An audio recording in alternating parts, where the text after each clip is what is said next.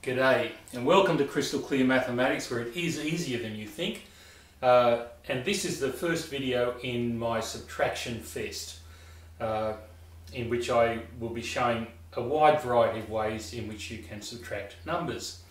The first one is commonly termed borrowing and it's the most common one taught today. And what it means is that when we're subtracting large numbers or small ones for that matter we do not alter the bottom number at all, but we recognise that every column is 10 times bigger than the preceding one. And if we need this number to increase, for example, then we borrow from the next column up. So, in this case, for example, 3 from 7 we can do. 6 is larger than 4, so we can't perform the subtraction and we borrow. So we take one of those, reducing it to 4, and we bring it across. It's worth 10 in this column. I like to write a large one. And 14 take away 6 is 8. You can see the benefit of spreading the columns out when you're instructing or teaching this method. 8 from 4 we can't do, so we borrow. Now, interestingly, there's nothing to borrow from, so we have to go further afield.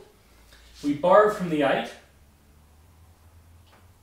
and we bring it across and we borrow from the 10 and we bring that across. So it had to sort of shuffle down.